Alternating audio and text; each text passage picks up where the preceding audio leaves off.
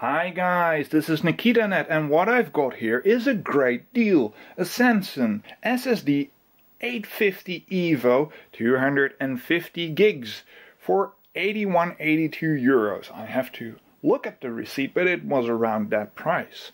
Now, this one is going back to the shop tomorrow morning, first thing. And you might wonder, if it's a great deal, why are you returning it? Well, compatibility with Linux. This computer, this Lenovo B590 has to get a new hard drive. And I thought, well, I'll select one, go to the shop and buy it. But in the shop I was talked into getting this great deal. It is a great deal, but not for Linux, because of compatibility issues. And I'll tell you exactly what the problem is.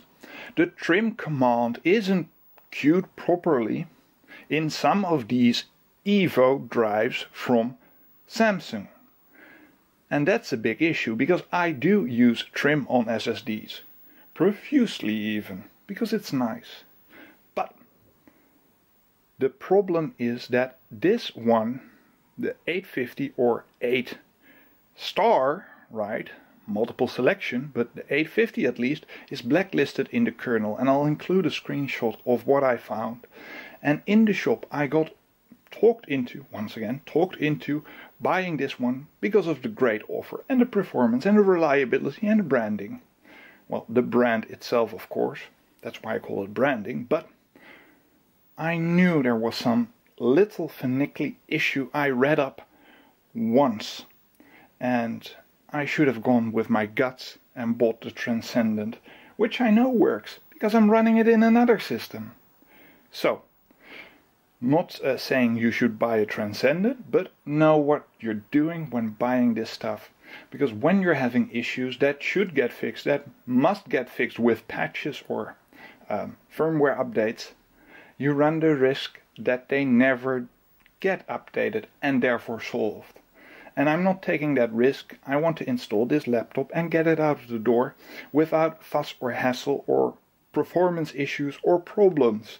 So tomorrow morning, first thing, this drive, this SSD drive, which was a good price and should most likely work with Windows, for example, for a long, long time without issues, well, it's getting returned because this system is getting Linux. And that's a subject for another video, but just to let you know, watch out what you buy, specifically with the Samsung uh, SSD uh, 800 series basically, or 850, 840. They're currently blacklisted in the kernel, to the best of my knowledge. So, I hope you like this video. Like, dislike at your pleasure, of course. Subscribe to the channel and, uh, well, see you in the next video. Bye-bye.